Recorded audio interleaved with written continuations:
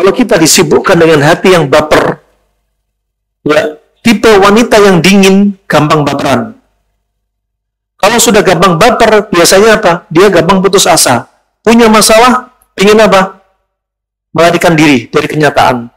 Putus asa, pengen apa? Bunuh diri. Ini wanita yang dingin, sifatnya dingin dan gampang baper. Ya. Kemudian wanita yang panas, Anda lihat, denyut nadinya biasanya lebih tinggi. Dan dia lebih susah tidur. Dia lebih susah tidur. Dan dia ini apa? Gampang terjadi seperti masalah amarah, dendam, dan lain sebagainya. Ini rahmanullah jami'an sebaliknya ini efeknya apa? Dia gampang marah, susah tidur, dan biasanya berdampak kepada fisik amarah dia. Kalau sudah marah, ada masalah sama suaminya, tangannya mudah sekali nampar suaminya, mukul suaminya.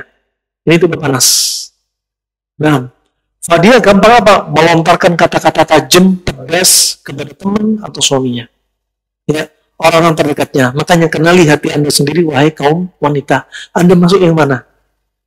Ya, kita Allah, Allah, Allah ciptakan kita semua hati beda-beda. Ada yang hatinya dingin, ada hatinya panas. Ada yang fisiknya, tubuhnya, bawaannya dingin, ada yang panas. Ada akhlaknya baik, dari sononya ada akhlaknya buruk. Tapi bukan berarti yang buruk ini akan selalu menjadi buruk sampai dia meninggal. Buruk akan jadi baik melalui adab akhlak yang diajarkan Nabi SAW. Ya, hati kita yang panas bukan berarti akan panas terus. Dengan adab akhlak kita diajarkan untuk mencegah amarah. Laisa syadid bisar'ah, walakin syadid liman yamlik nafsahu lil ghadab. Bukanlah orang yang kuat itu dengan menjatuhkan musuhnya, mengalahkan musuhnya, tapi tatkala dia menjaga diri dia, menahan diri dia ketika amarah. Anda juga demikian, sebagai seorang wanita, Anda tahu hati Anda yang mana. Ya, Anda dengan hijrah ini, Anda dituntut untuk berubah. Jangan sampai sudah bilang, saya sudah hijrah, 10 tahun. Tapi nggak berubah.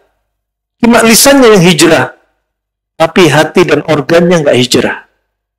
Nah, hijrah bukan dilihat dari waktu, panjang-panjangan waktu hijrah. Tapi apa? Al-ibra bil haqa'iq. Hijrah yang dimaukan adalah hakikatnya, penampilannya, lisannya, matanya, gerakannya, perbuatan dia, hati dia. Inilah hijrah.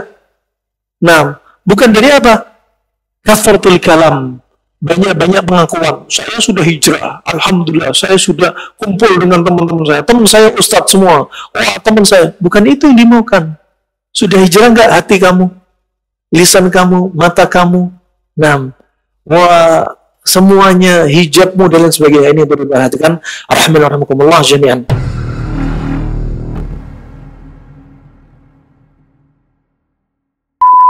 Al-Amwa menemani ibadahmu juga hijrahmu.